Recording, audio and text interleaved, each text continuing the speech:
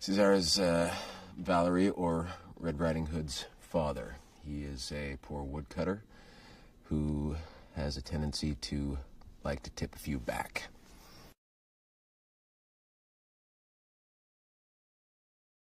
We open with, uh, unfortunately, a death in the family. Uh, my eldest daughter, Valerie's sister, and that hits everybody, not only the family, but everybody in the village pretty hard.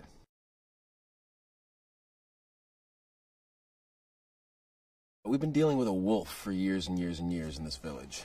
He uh, comes around and we appease him with little sacrifices, but um, and that's kept him at bay for a long time. But now he's he's taken one of our uh, one of our people just sort of randomly, and uh, nobody knows really why.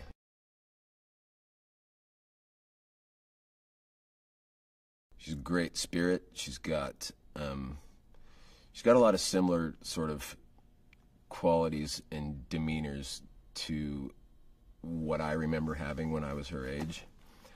Um, she she takes the work very seriously, but um, not so seriously that it interrupts her life. Um, and she just uh, she's got she's got that you know that gift of just being real.